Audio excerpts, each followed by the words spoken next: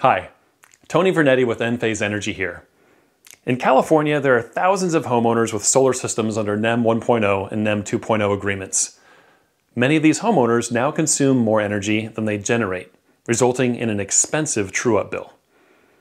They'd love to add more solar, but have been limited to adding only about two panels before losing their NEM 1.0 or 2.0 status, until now.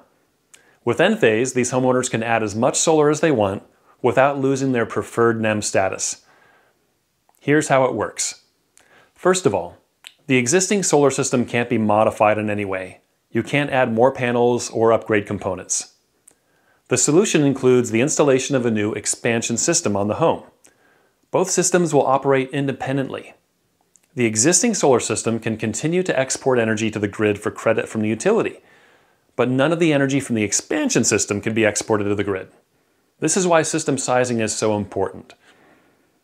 An expansion system should generate enough energy to cover what's being purchased from the grid.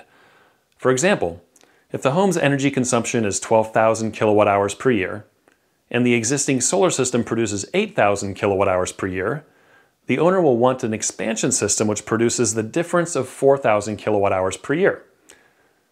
In the future, if the homeowner plans to purchase an electric vehicle or other major electric appliance like an air conditioner, they'll want an even bigger expansion system.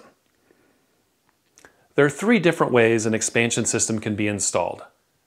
Zero export using Enphase power control software, circuit relocation, which involves moving circuits to a subpanel, or a net generation output meter. We recommend zero export with Enphase power control software.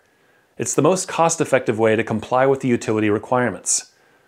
With power control, the system will manage energy generated by the expansion system to ensure it never exceeds the needs of the home. Here are a couple more things to keep in mind. When using zero export with Enphase Power Control, only the expansion system may have batteries.